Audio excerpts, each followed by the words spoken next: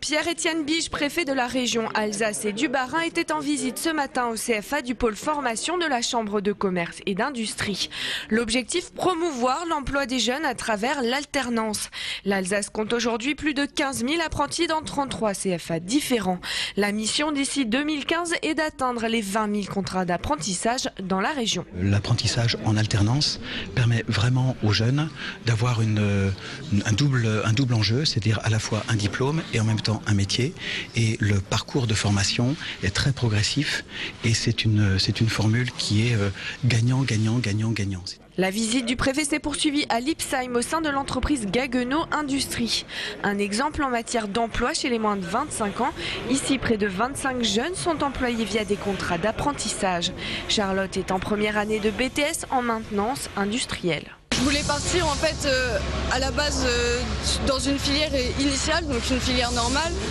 Et euh, bah, après plusieurs mois de réflexion, je me suis dit que finalement l'apprentissage, bah, pourquoi pas. Je passe quand même plus de la moitié d'une année dans une entreprise, donc ça peut ouvrir pas mal de portes je pense. C'est une voie technique, manuelle, et que bah, c'est ce qui me plaît en fin de compte. On n'a plus besoin de passer par euh, forcément euh, six mois de formation ou de choses comme ça. Là, dès qu'on sort de l'école, on est tout de suite euh, prêt à travailler, efficace. Donc je pense que l'expérience prime quand même pas mal. Ce n'est pas simplement l'intérêt de l'apprenti, c'est très clair, c'est très important.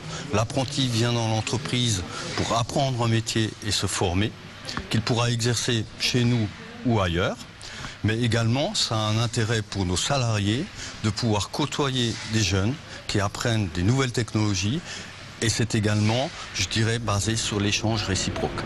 Dans cette entreprise, de nouveaux contrats d'apprentissage sont en prévision. Problème, trouver des candidats dans le secteur de l'industrie est parfois difficile. L'habitant du 21e siècle est plutôt euh, sur les services, sur le tertiaire, euh, et il a perdu le goût de son industrie, mais tous les produits de consommation que nous utilisons euh, sont le résultat d'une industrie. Donc il est impératif d'avoir une industrie d'abord française, compétitive, qu'il faut que d'abord nos formations soient adaptées aux besoins de l'industrie.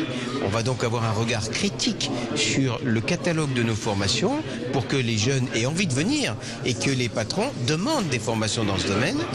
Donc on espère que grâce à cela, il y aura davantage de, jeunes en formation dans les structures existantes, qu'il n'y ait pas trop de places vacantes.